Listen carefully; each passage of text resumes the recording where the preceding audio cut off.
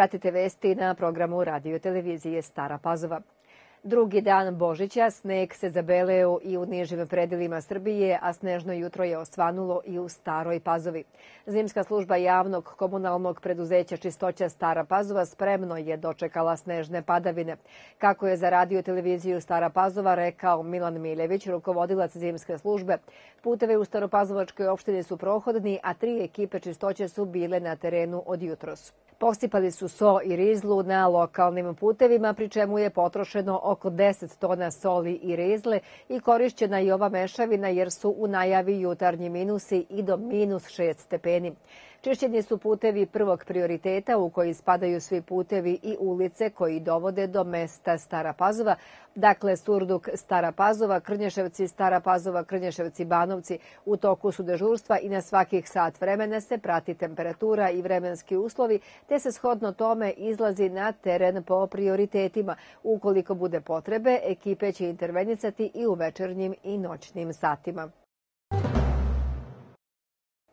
Ministar građevinarstva, saobraćaja i infrastrukture Goran Vesić izjavio je danas da su sve državni putevi na teritoriji Srbije prohodni, a da je tokom noći posuto 320 tona soli kako bi se sprečila pojava leda i putevi bili bezbedni za vožnju, saopštilo je resorno ministarstvo. Javno preduzeće Putevi Srbije apeluje na sve učesnike u saobraćaju da budu posebno oprezni i prilagode brzinu kretanja uslovima na putu, jer se prema prognozi Republičkog hidrometeorološkog zavoda očekuje da do kraja dana bude hladno i vetrovito, povremeno sa snegom, slabog i umerenog intenziteta, što će u većini mesta usloviti stvaranje snežnog pokrivača. Sva raspoloživa mehanizacija je na terenu 24 časa i ekipe putara intervenišu u cilju bezbednog odvijanja saobraćaja. Javno preduzeće Putevi Srbije apeluje na vozače da zbog vlažnih kolovoza i pojave niskih temperatura, moguće poledice i slabe vidljivosti na pojedinim deonicama bez preke potrebe ne kreću na put, a ukoliko krenu da obavezno imaju zimsku opremu i lance u brdovitim i planinskim terenima, kao i da poštuju ograničenja brzine i istu prilagode uslovima na kolovozu. Ministar odbrane Miloš Vučević izjavio je danas da se Srbija time što je pokrenuta inicijativa za ponovno uvođenje obaveznog služenja vojnog roka ne sprema ni za kakav rat, već da se sprema da čuva mir i slobodu i dodao da bi jaka vojska Srbije bila još jedan odvraćajući faktor za sve one koji su zlonamerni prema našoj zemlji.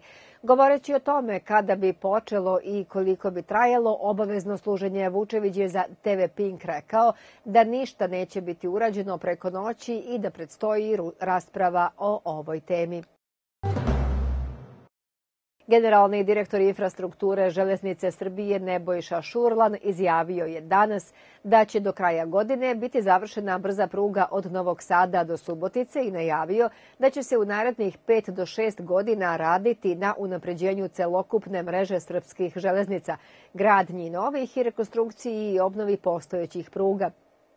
On je rekao da je pruga Novi Sada Subotica dužine 108 km deo projekta brze pruge od Beograda do Budimpešte i da tu deonicu grade kineske kompanije, kao i da je ukupna ugovorena vrednost radova 1,16 milijardi dolara.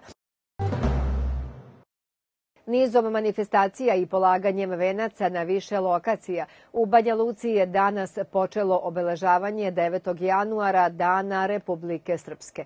Venci i cveće su prvo položeni na spomenik palim borcima Vojske Republike Srpske na groblju Sveti Pantelija, zatim na trgu palih boraca Narodno-oslobodilačkog rata, a potom i na spomen Kosturnici na gradskom groblju.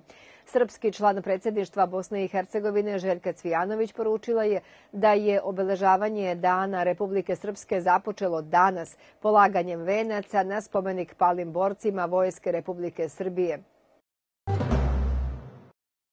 Pravoslavni vernici danas proslavljaju sabor presvete Bogorodice, drugi od tri dana Božića. Vernici dan nakon rođenja Isusa Hrista saborovanjem odaju zahvalnost Bogorodici što je rodila spasitelja ljudskog roda. Božić se u domovima slavi tri dana, a trećeg dana se slavi spomen na svetog arhiđakona i prvomučenika Stefana, koga brojne srpske porodice praznuju kao krstnu slavu. U nastavku sport, ženski odbojkaški klub Jedinstvo iz Stare Pazove, prvak Srbije i pobednik Banka Poštanska štedionica Superlige 2022-2023 nastavlja učešće u A grupi Lige šampiona 2024. Jedinstvo će treći put biti domaćin u ovogodišnjoj Ligi šampiona u petom kolu u sredu 10. januara od 19 časova, kada će u Rumi gostovati italijanski Vero Volej iz Milana.